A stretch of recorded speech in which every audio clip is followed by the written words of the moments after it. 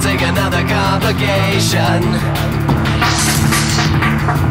Have mercy, please, God, erase